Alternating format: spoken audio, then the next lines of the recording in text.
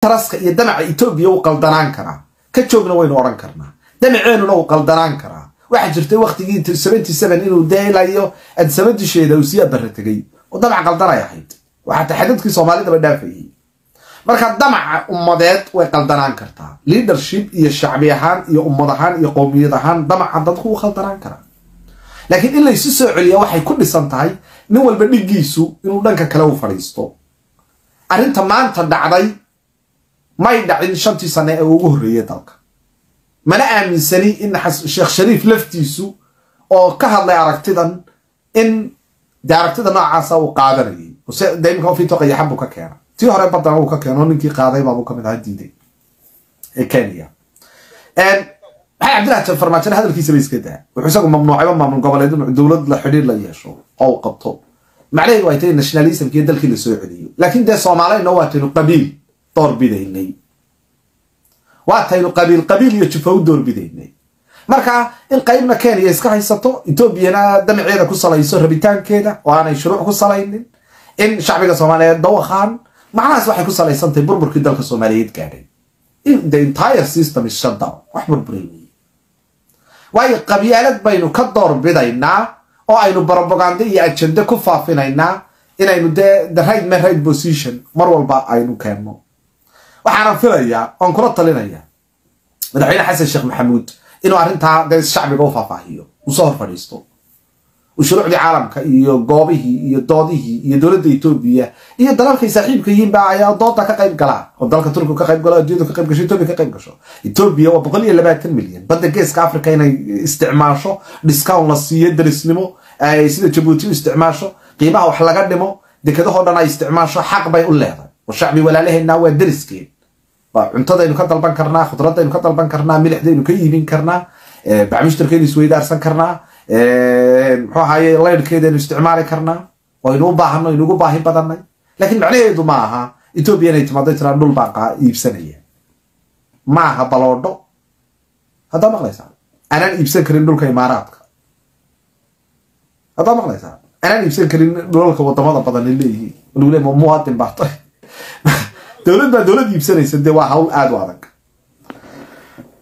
Hallo salaamu calaykum arrinta arrinta libano alo? Si fiican. A liban a waxaan kugu biirinayaa arrintaas imaaraadku inay ku jiraan. Ayaananu aaminsanahay maxaa yeelay imaaraadku waayadan xidhiir wanaagsan buu etoobiya la leeyahay. Mar bil ka horna uu joogay dhowr jeer buu yuu ziyaaro ku tegey uu booqasho ku tegay waddanka imaaraadka marka imaaraadkuna aad buu ugu jiraa maarag arrintan. Marka siyaasiyad xumada xasan sheekh maxamed waxaa ka mid a imaaraadka oo soomaaliya inkasta dhowr jeer lagu soo celiyay inuu dhibaato u keenayo oo dowladdii horena ay xiriirka u jartay oo xitaa d b wall inay ka saarto ay isku dayday. Ayuu isagu ayuu hoosta ugu jiraa. Imaaraadku hoosta ugu jiraa. Imaaraadkuna uu ku jiraa arrintaas. Waxaan arrin kalena waxaan ka yaabanahay ilaa iminka xasan sheekh maxamuud miyuuna cashir ka beranin baddii soomaaliya kenya ku qabsatay ee intaa oo dhibaato ah loo soo maray? Bal intaa oo sano ayaa dhibaato loo maray oo intaa dacwad lagu jiray oo baddii dhannayd ay shaki laga la shaki la geliyay baddii dhannayd soomaaliya. Ma garanaysaa?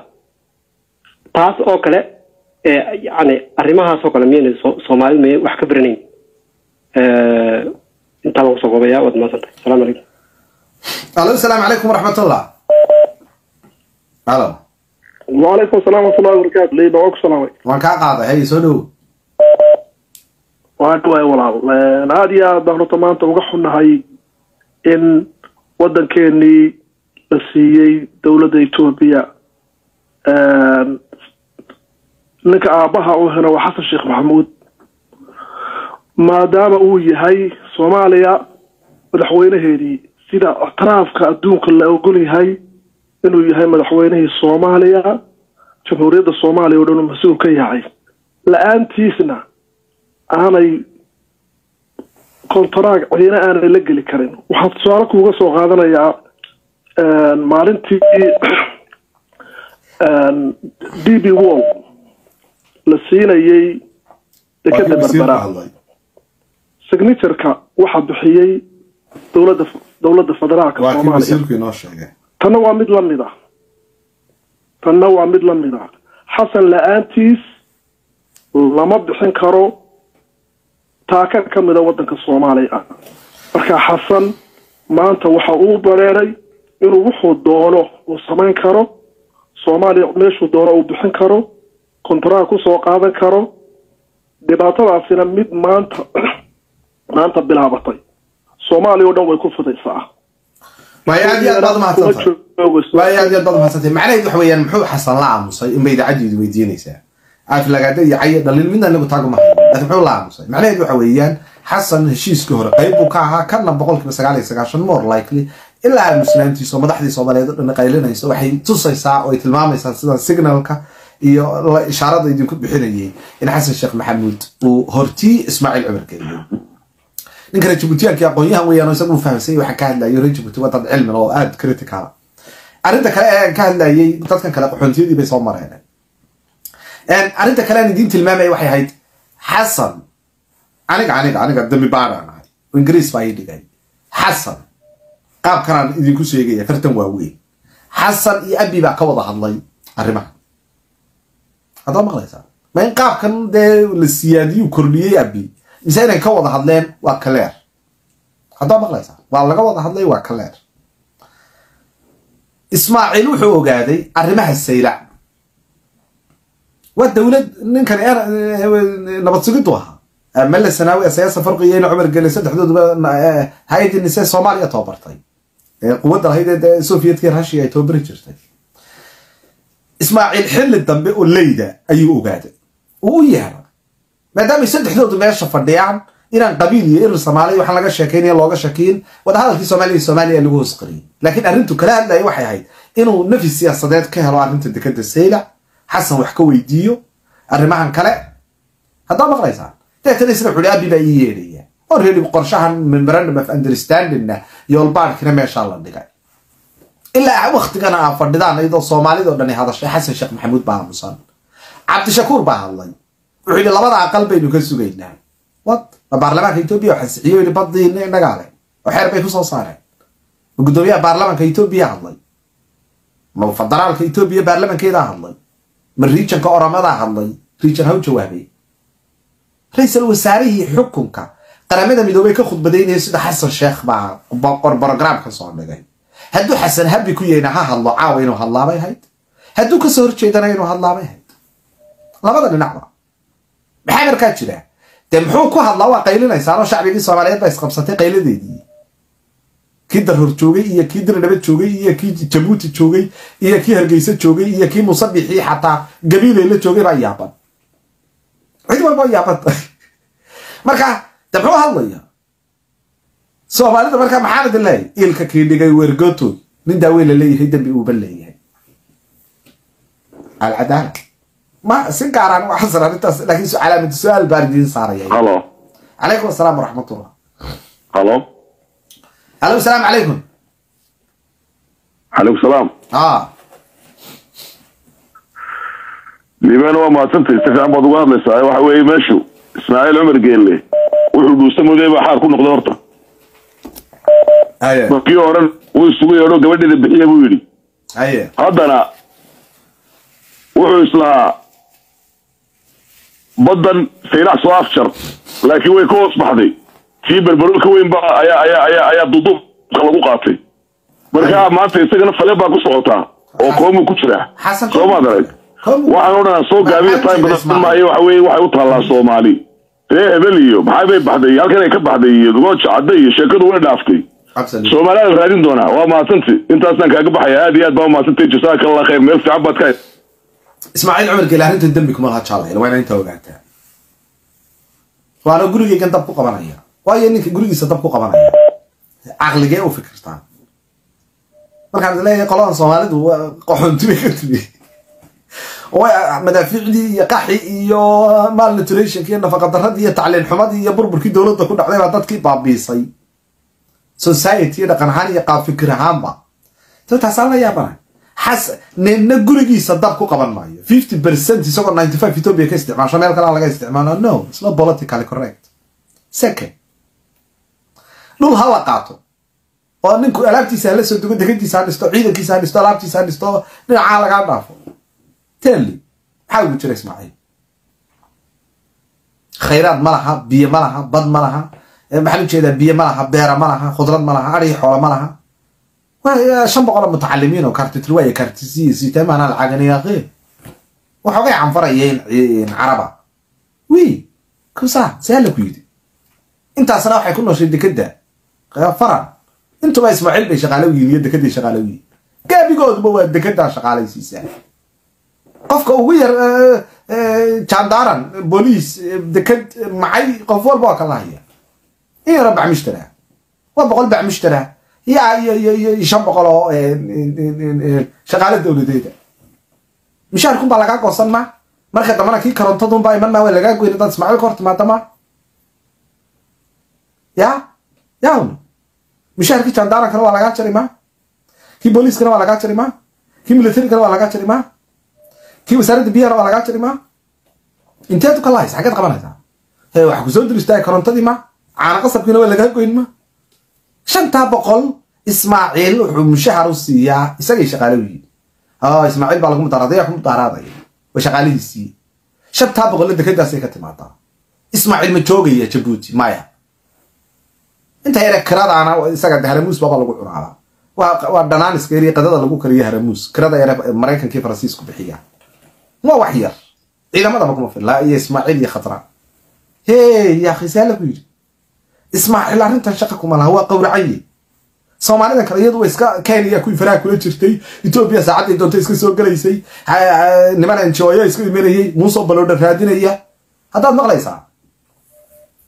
Xasan oo iska enjoya cabdishakuur oo roob baa daay ilaahay habeen walba abaar ka barya iyo meel daad qaato. Oo koonfur galbeed daadad baa qaatay. Laba milyan ku soo shuba haddaad maqlaysaa? Deetana cabdishakuur yidhi waa idinku yidhi golaha baarlamanka aynu sugaynaa oo arrintaasi waa arrin runtii dee aynu u baahanay deganaan iyo golaha baarlamanka baarlamankee ma ganacsatada soomaali ka kala timi nin walba lacagtiisi yaraa deynta lagu leeyay ku ololeystay iyo inta odayaasha siiyey ee shaqaysanaysa meesha fadhidaa hor dalka nin baa loo dhiibeeyey saaxiibkii hala hadlo ha u hambaliyayo dekeda etoobiya way noqon weyday taa yidhahda heshiiska kaalay oo ka wada hadal kala meesha lagu wada hadlaa ma jiro ha yidhahda somaliland waa dowlad madax bannaan ictiraafkii baan siiyey. Habeenkii dhawatolo jabuutan ku siiyey. Ama orama ha galaan ama kalarka lixaad ha galaan ama toban kilomitr iyo nusbaloodhkii iyo beerti cismaan daxas ha iibiyaan. Waa af soomaali. Saddexdaa mid soomaali kula hadal inaad jamhuuriyad ku sheegto ood meesha farax ka qaato.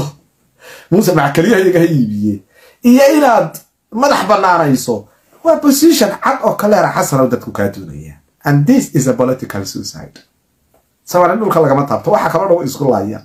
Lakiin markuu ajaanib dhulkooda soo doonto waa dangerous alo asalaamu calaykum waraxmatullah. Calaykum salaam waraxmatullahi wabarakaatu liibanow waan si fiican baan dooda ula socdaa oon oday xasan horta berri buu hadli doona haddii la yidhaahdo usa malayn maayo wax weyn inuu sheegayo sidaan xogta ku haya berri baarlamaanku ka ballansan yahay.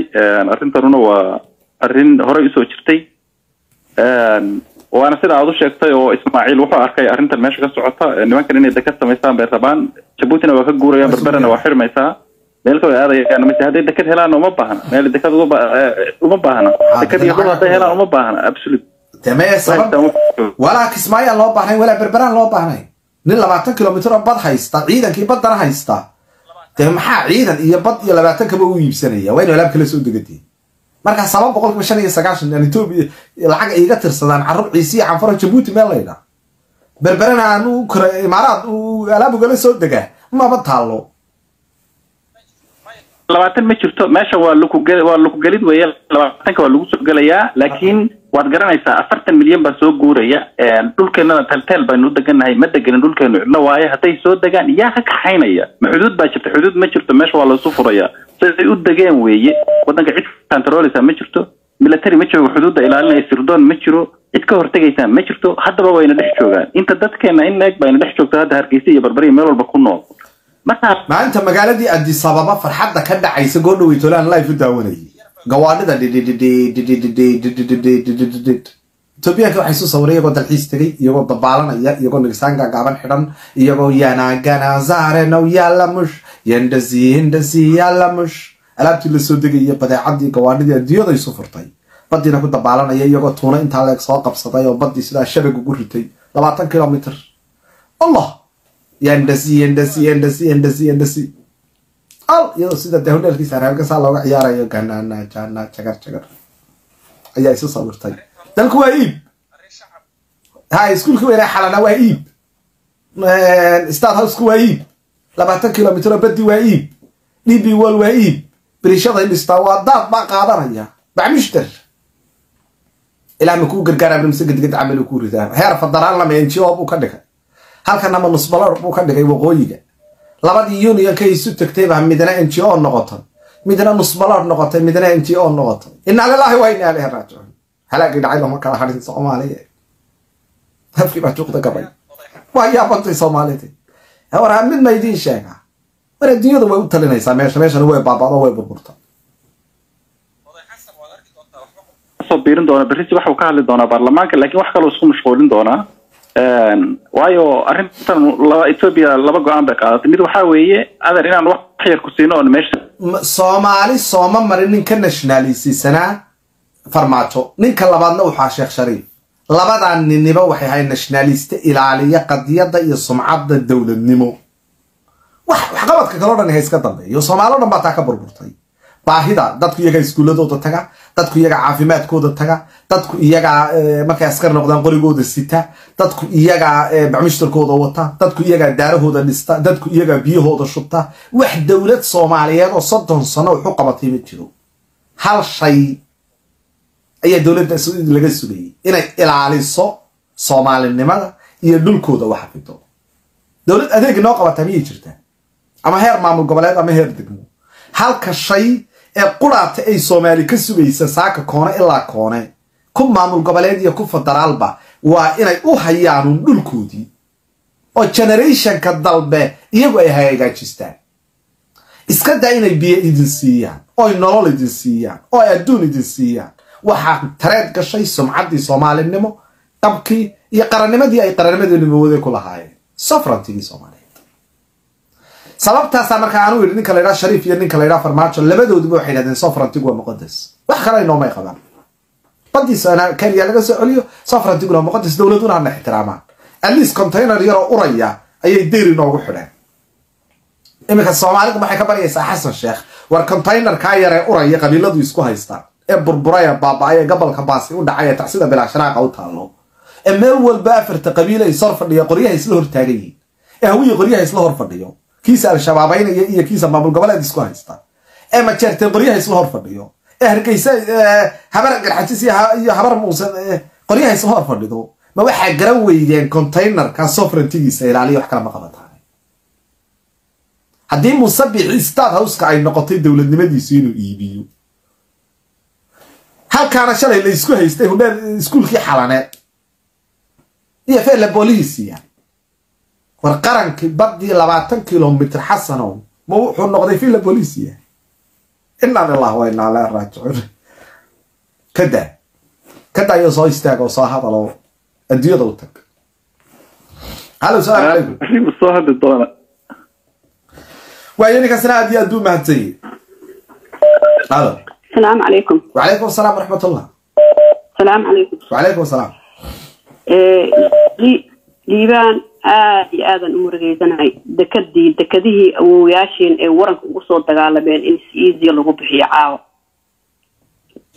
ma fahamtid si fiican wax aada looga xumaado waaye insha allah waa la isku duubnaan doonaa ilaahay idinkiis caawna dayuurada u imataa leh xasan sheikh oo imaaraadkaa loo qaadayo ma fahamtid marka isagaa dekadahan bixiyey isagaana saxeexay dowlado shirka ayaana ka keensaday soomaali waxaan leeyahay adduunyada meel kastay joogto ha banaan baxdo qalin iyo buug iyo waran iyo meel kasta aan ku bahalkiyeysano boqolkaas milyan aan iska dhicino weligood waxay dhahayeen hargeysa magacaas annaga askaley dhahayeen kiyaa run noqday.